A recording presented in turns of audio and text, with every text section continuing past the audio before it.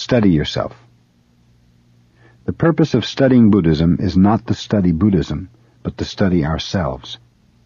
It is impossible to study ourselves without some teaching.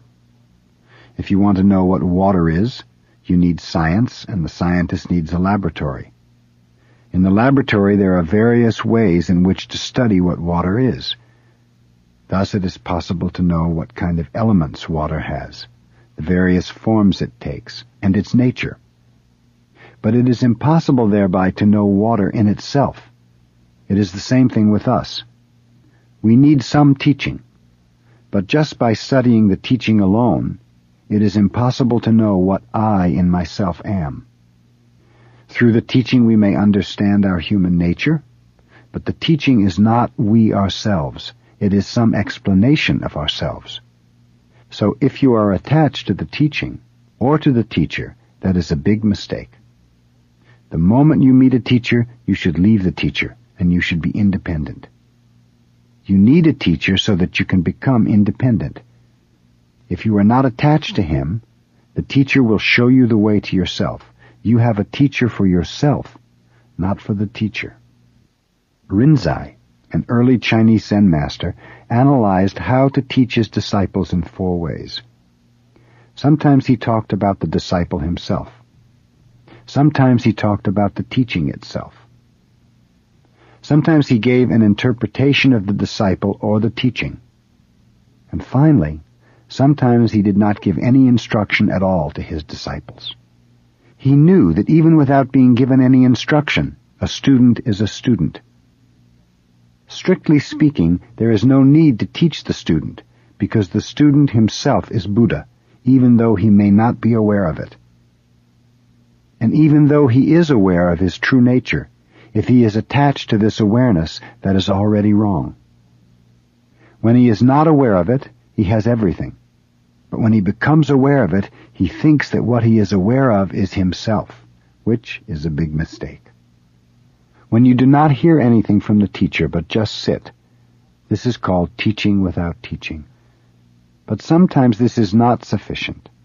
So we listen to lectures and have discussions. But we should remember that the purpose of practice in a particular place is to study ourselves. To be independent, we study. Like the scientist, we have to have some means by which to study. We need a teacher because it is impossible to study ourselves by ourselves. But you should not make a mistake. You should not take what you have learned with a teacher for you yourself.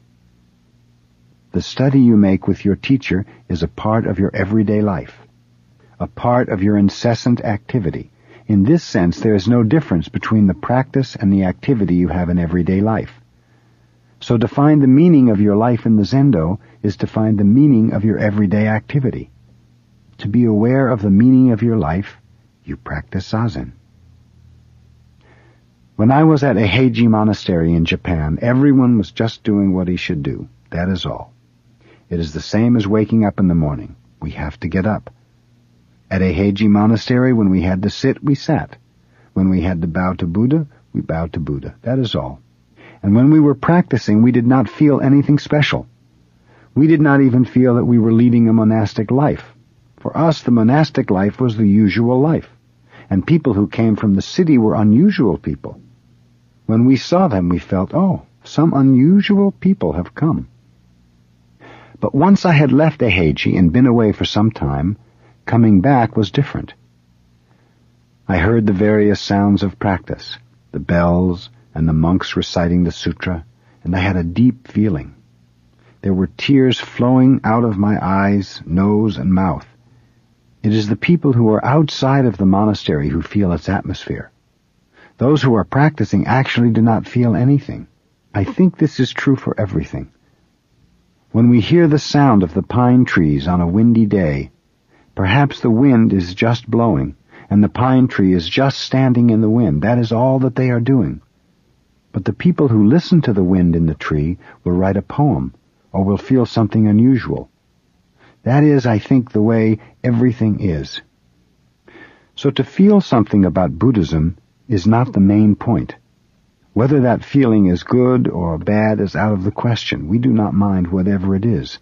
Buddhism is not good or bad. We are doing what we should do.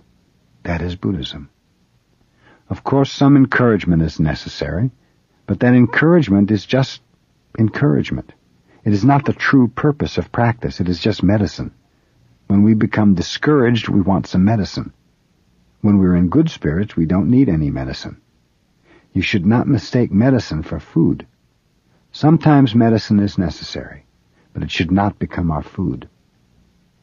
So of Rinzai's four ways of practice, the perfect one is not to give a student any interpretation of himself, nor to give him any encouragement. If we think of ourselves as our bodies, the teaching then may be our clothing. Sometimes we talk about our clothing. Sometimes we talk about our body.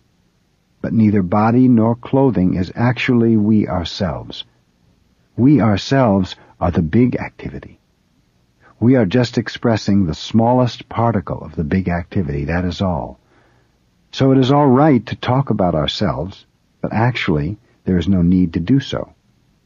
Before we open our mouths, we are already expressing the big existence, including ourselves.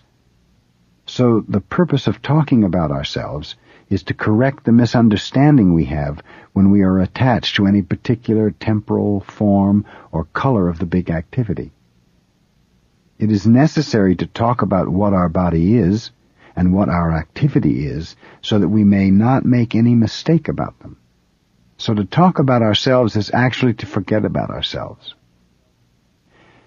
Dogen Zenji said, to study Buddhism is to study ourselves. To study ourselves is to forget ourselves. When you become attached to a temporal expression of your true nature, it is necessary to talk about Buddhism, or else you will think the temporal expression is it. But this particular expression of it is not it. And yet at the same time it is it. For a while this is it. For the smallest particle of time, this is it. But it is not always so. The very next instant, it is not so. And thus this is not it. So that you will realize this fact, it's necessary to study Buddhism. But the purpose of studying Buddhism is to study ourselves and to forget ourselves. When we forget ourselves, we actually are the true activity of the big existence, or reality itself. When we realize this fact, there's no problem whatsoever in this world and we can enjoy our life without feeling any difficulties. The purpose of our practice is to be aware of this fact.